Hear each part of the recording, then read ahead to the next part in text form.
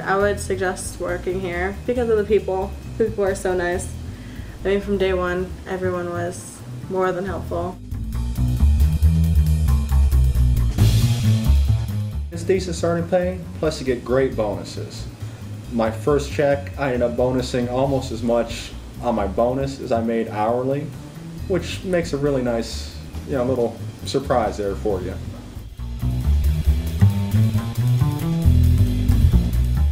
Well, one of my reasons I would suggest working at Incept is because it's a great company. It's really a family-based company, and in the retention department, you have an opportunity to challenge yourself on a daily basis, and we have a competitive environment on our team.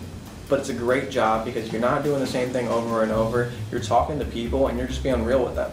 And you're actually just every every call is a different challenge because everything is different in every call, different situations, and it just makes the job entertaining because you're not doing the same thing over and over, and it doesn't get dull.